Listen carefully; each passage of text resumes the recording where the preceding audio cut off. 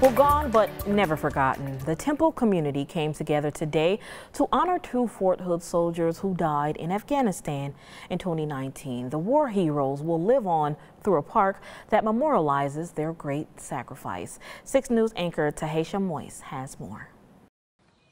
The rain did not keep people away from today's dedication ceremony at the newly renamed David Knadle and Kirk Fuchigami Memorial Park. Chief Warrant Officers Stu Knadle and Fuchigami were killed while their Apache helicopter crashed while on a mission in 2019. Both men and their families lived in the Lake Pointe community in Temple.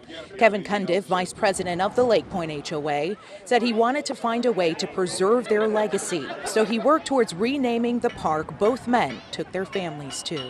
This is the point, is community and realizing that our veterans mean something.